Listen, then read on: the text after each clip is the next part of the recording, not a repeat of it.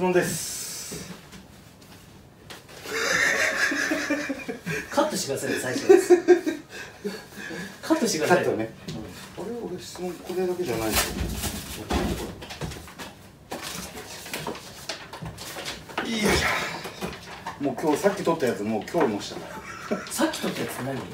午前中撮ったやつもう載せたから。本当出すもんないんだはいえーと。今日帰んないですね。え？いやまだ時間あるもう帰もういつもだったら帰る時間。だいやだって質問な答えないかったらどうしようもないでしょうよ。お前ずっと球打ってんだから。まあ今日と球打ってるやつも取ったけど。あんまり結構カットしていいですよ。いやあの全然流す俺がいいこと言いまくっちゃってるからさ。あれカットしようかな。えーっとねこれはヒロさん。これはちゃんと名前出てきた、えーこれもインスタにもらったやつね、えーお疲れ様です、えーまたまた質問させてください。インパクトの瞬間に絶対に外せないなおかつ意識していないとできないポイントはありますか？ちゃんと聞いてるか？今ちょうど音が鳴っちゃってすいません。インパクトの瞬間に絶対外せないなおかつ意識していないとできないポイントはありますか？スイングの再現性を高くしたいので、えー的外れな質問でしょうか？何かヒントをいただければ幸いです。インパクトの瞬間に絶対に外せない、えーポイントなおかつ意識していないとできないポイント。これちょっとトリッキーで俺も回答困ってんだけ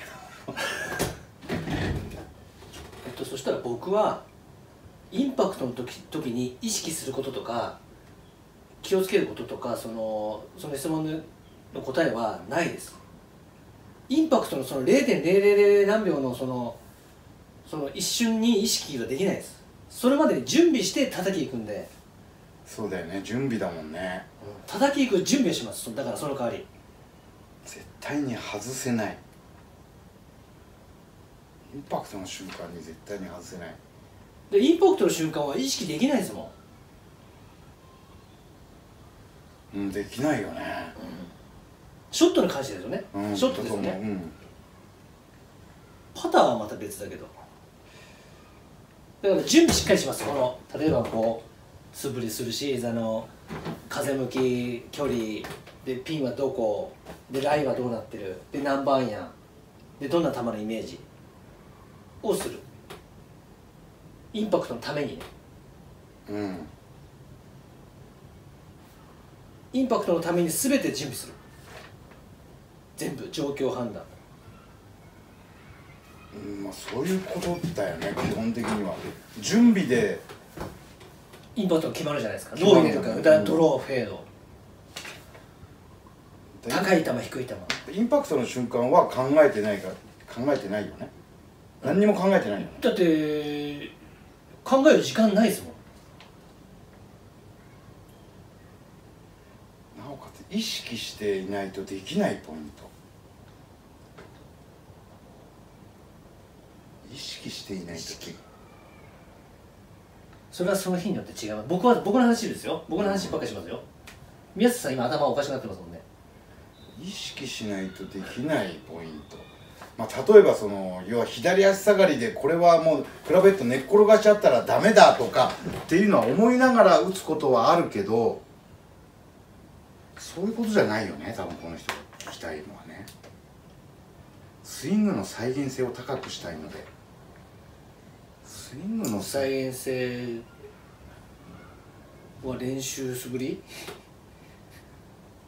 うんまあスイングの再現性を高くしたいんであれば、えーまあだからさっき言ったように準備をしをして、えーインパクトの意識がなく球筋をコントロールできた方のがインパクトの後後の球筋をコントあのイメージでコントロールできた方のが再現性は高くなるよね。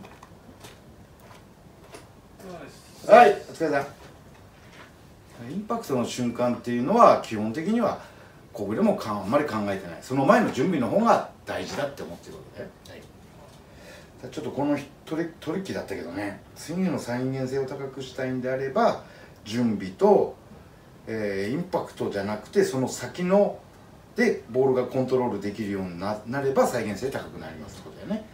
いわゆるインパクトゾーンが長くなる。フォローで球を打てるっていうことだからね。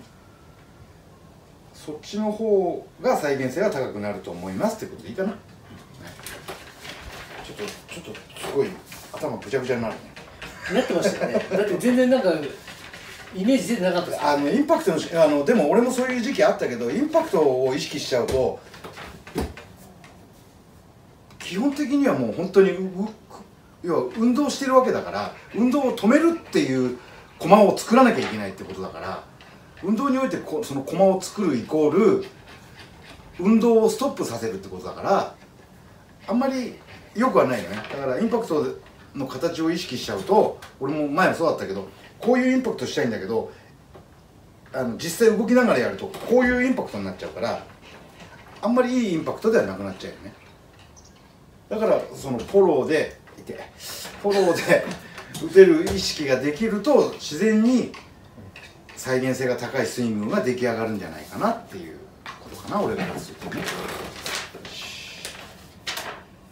はい、えー続きまして、えーハゲ0017さん、えーいつも楽しく拝見してます。もともっともっとお二人のラウンド動画見たいです、えー本当最高のつまみです。えー小暮さんのショット全部クオリティ高いですが特にパッティングは素晴らしい。パッティングの技術やおすすめの練習方法等あれば教えていただきたいです。よろしくお願いします。パッティングの技術。おすすめの練習方法。僕の話でいいんですか？あのあのラウンドではパッティングの技術いっぱい対応したの俺だけど。ね でもね見た目あんまり印象はねないですよね。おかしいな俺のがすっげえいろんなテクニックって寄せまくってたんだけどね。えパターで？うん。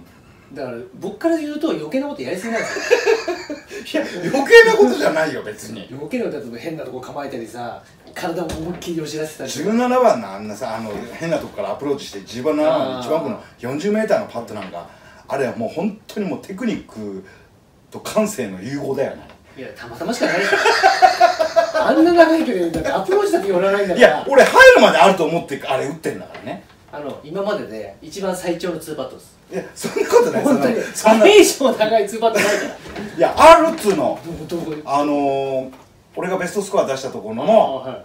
あのその前の年のはい。えっと10番ロングで11番、左ドッグのあはい。ああののー、僕が僕がミスったボギーしたとこでしょ？そう、ん。あれあの右のラフからフライヤーでお、ん。奥行っちゃって、奥から3 5メーターぐらいのやつ入ったじ全く記憶ないそれで調子乗ったんだベストスコア。いやそれとはまたベストスコアの時は違うけ違う。どまあまあいいや。俺のことは言ってるけど。パッティングの技術やおすすめの練習方法があれば教えてくださいと。ありますよ。今うちあります？パッティングのここなんか大してパッティングの技術出してないけどねあれね。うん僕ただ普通にポンポン打ってただけですでえあのいやフックラインまあクラインこうバーディーパット入れた時はあれはちょっとこうなんか小細工してたけど 切れないように打ってるなっていう感じでは打ってたけど。チェックしないで人の打ち方。パッティングの技術やおすすめの練習方法。じゃあ1個やります？うん。そこで。おすすめの練習方法。やります？やうん。りましょうかまあ視聴回数少ないからいいでしょ僕ら出しちゃって確かに。視聴回数少ないから。僕のおすすめの練習方法は先で打つ。えお俺の普通の時と一緒じゃん。この先で打つんですよ。先で打つと、うん。あのすごいボールの重みにこうこうやられるんですよ。うん。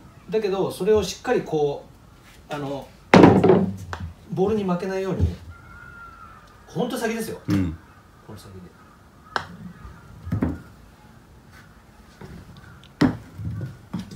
そうするとインパクトがしっかりできる。だって強烈トルクかかるもんねそれ。そう。先でクッと。大体こう開くんで、うん。開いちゃうんで。これ練練習方法ね。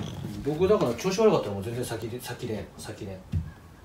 ていうかサンドウェッジでもやるじゃんお前そう先でよしじゃあそそれがだから秘密の練習法。構え的に言うとこここんな感じ。ちょっとアップにした。ここで打つのね。そう本当本当にもうこの先この先でボールの中心を中心をこう。よし OK それがオリジナルの練習方法。えっ、とあとはじゃああのテクニックテクニック。うん。あまり変なこと言うとトリッキーすぎるって言われちゃうね。テクニックテクニック。テクニックいっぱい練習してますよいろんな打ち方うん。パッティングの技術か、だからドローフェードトップダウンブローこすり。うんうん、え球の位置。重心。重心。スタンスオープンクローズ。うん。右肩出さない。うん。下げる。左肩上げる。こうやんないようにする。うん。見た目。見方。首の角度。トリッキー俺のショットみたいなもんだよ。く仮面みたいな。まあそれはいろいろ考えるよね、まあ、技技術というかまあそうだね。だからショットなんで一応。うん。14本ってクラブってショットのクラブだからたまにインパクトするもんなんでどういうふうにショットしようかなって思ってます、そそれがいろんな方法で、うん、えー打ってる技術になってるってことだよね、そうそうう、ん、いろんな球を操ってるってことだよね。まあそれほどではないですけど。うんうん。まあいいや。でもな一応その感じでもそうとはやっどうてますそうどうやったら入るのかなって。であと転がり見て。このしか今日は転がり悪いないいなっていう感じでいいかな、えー、とそしたらはい、えー、と続きましてえー、と奈良鹿子鹿子さんっていうのはこれはい。これわかんないけど、えーなぜ男子プロが育たないのか不思議です、えー原因ありますか？高度な行動、えーコース攻略法が無知だからですか？みたいな、まあ質問というか短文できたんだけどはい。まあ男子プロ育たないわけじゃないよね、あのいいい選手はいっぱい育ってきてるんだけど、えー原因原因的にはどうなんだろうね。高度なコース攻略法。コース攻略法。まあ確かにその基礎ができてえーコース回る時にスコア出せないっていうのはやっぱりそのコースマネジメントができてないわけだから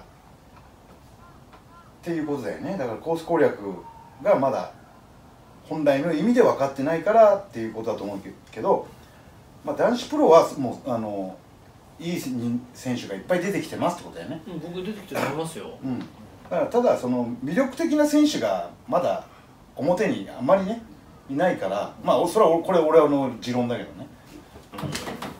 うわこの人見たいって思う選手がまだいまだにまだ出てないから、まあ、だからちょっとまだそこまで男子の人気がね出てこないと。あそっか見たい選手ね。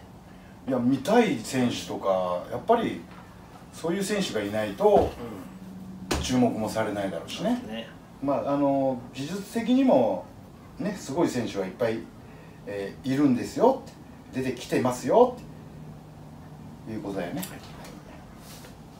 えー、と続きまして、えーヘルウルフさん、はい。えーラウンド動画楽しかったです。小暮さんに道具の質問です。はい。えー現在使っているアイアンが JPX921 ホットメタルですがシャフトを三菱の OT のをアイアンに入れてもらいました、えー注文してから知ったのですがこのシャフトはいわゆる一本取りのカーボンシャフトです、えー現在ほとんどのアイアンシャフトは番手ごとの専用シャフトですがこのシャフトは番手によってチップカットして刺しているようです、えーなのでカット後、えー番手ごとに重さが変わってしまうのでおそらくネックの中に重りを入れて総重量とバランスを調整していると思われます、えーし しかし打った感じは、えー特に番手ごとの違和感もないのでしばらくこれでいこうと思いますが逆に番手専用に設計されているほとんどのシャフトはカット前で全て同じ重量なので、えー短いほど重く、えー長い番手ほど軽く作られているということですよね、えー小暮さんはどっちが好きですか、えーもちろん好みの問題だと思うのですが多くの人の道具を作ったり調整している小暮さんの意見を聞かせていただけると嬉しいです。ということで。わかりますよ。その全部一緒のクラブで届いて僕がカットして入れるっていう。あーめんどくさいやつね。めんどくさいですけどしょうがないじゃないですか。しょうがないですよ。いまだにそういうのがあるんだ。ありますよへ全然ありますだから僕いい悪いじゃなくて、うん。好き嫌いでもなくて、うん。よかったらいいんじゃないですか？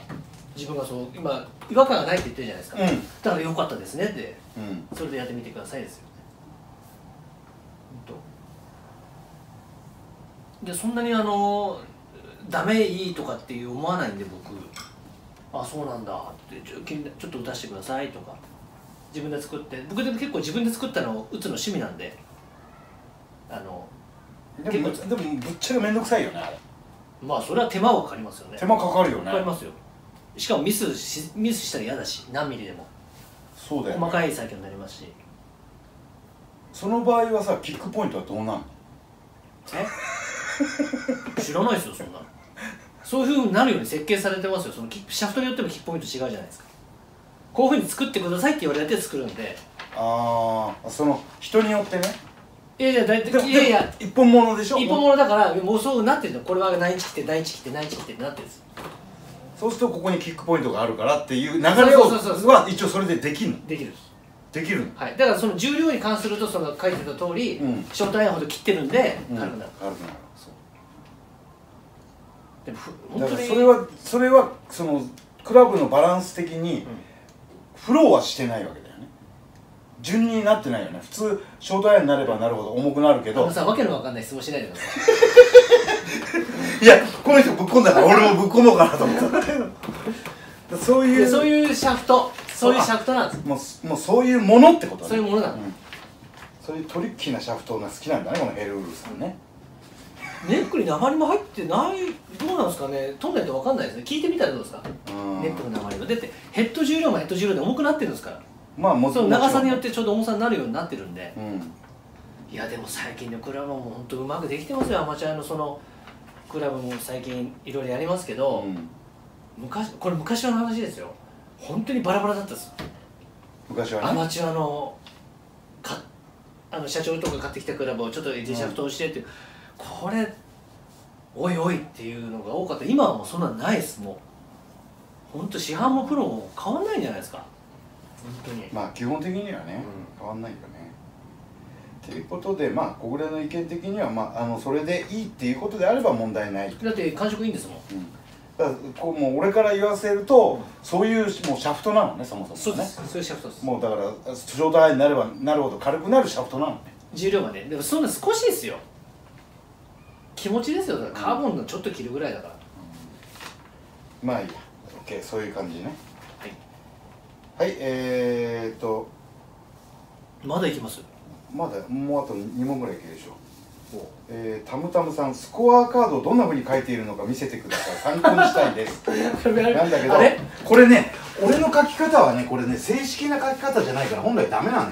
いやだから。数字書かなきゃいけないのよ本来はね。本来のマーカーとしてやるのは。自分の個人のラウンドの話だからいいんじゃないですか、別に。だから俺は基本的にはもうバーディーだったら丸ボギーだったら三角、はでパーだったら横線。であのその右側にその右側にバーディーボギーね。バーディーボもっとギーで近いもうちょっと近いですで2パットだえ1パットだ1パットバーディーだパー2パットパーだボギーだ3パットボギーだって書いてってそれでこっちにスコア書いてここにパット数。それで両方書いてってインとアウト両方書く。それであとはパーオンしたところはこのところに丸していくしこうやってね。で小暮の方はこっちで後で後で俺はリピートするから 小暮の方はね。リピートして小暮あそこ1打目行ってああフェアウェイじゃなかったセミラフだったなとかって言ってチェックしてるだけだから、本来正式な、まあ、例えば試合とかで行った時にあの書かなきゃいけないのは数字。だから数字で例えば数字に丸してもダメなんだよねパーティーしてダメダメ。です本来ね、はい。本来の競技の、えー、とスコアカードは数字のみ。だから本当に例えばバーディーだとして3って書いてバーディーだからって丸書いちゃいけないから横にこ丸返すうよね。そしたらもう30 30になっちゃうってなっちゃうから。もう数字だけ。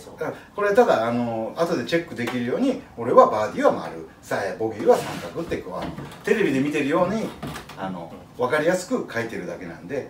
まあでもこれでパット数とかやえ書いていくとあの残るんであの参考にはなると思いますっていやもう中にはいるんですよ。ここは何番でどんなミスしたまで書いてあ書く人いるよね。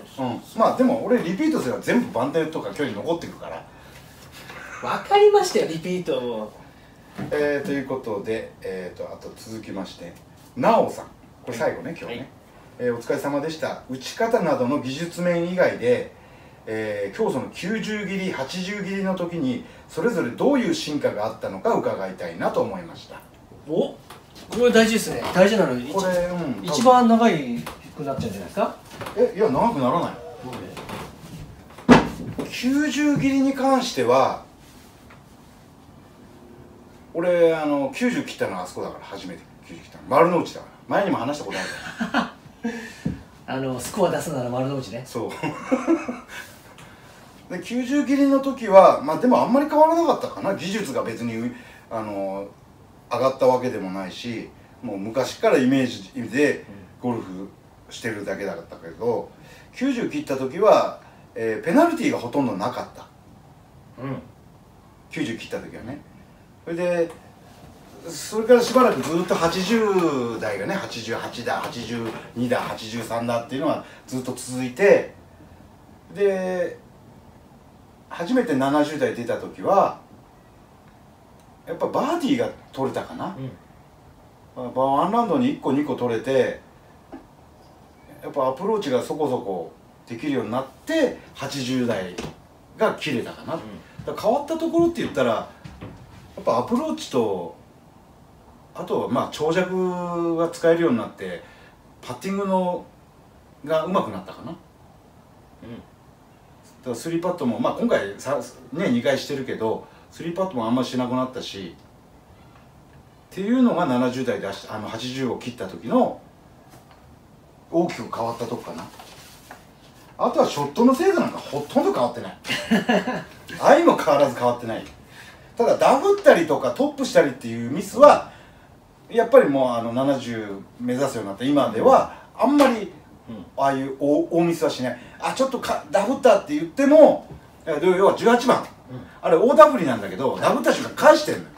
だから2ピン左に飛んで あの、ピンまでは距離いってるまあまあね。普通ダフったって言ったらもうボテっていけじゃん。はい。はいはいそういうダフりじゃないんだけどそういうミスが大ミスがなくなったってことかな、一応そそういう進化かな。まあ少なくなればなるほどやっぱりアプローチパターがそこそこになってきたってことかなアプローチだけだったらまあこれとあんまり大して変わってないと思ういや俺よねハムの時寄ってましたね。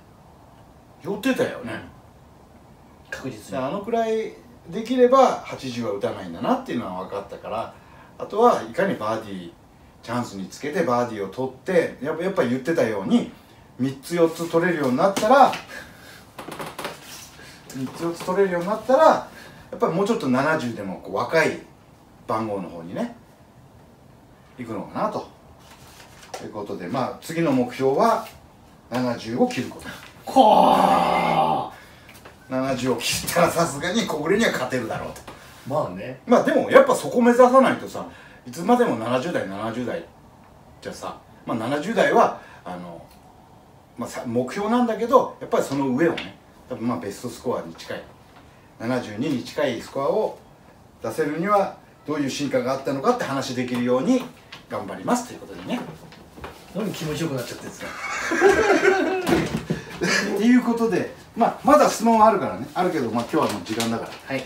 終わりです。ということでいいかな。お疲れ様でした。はい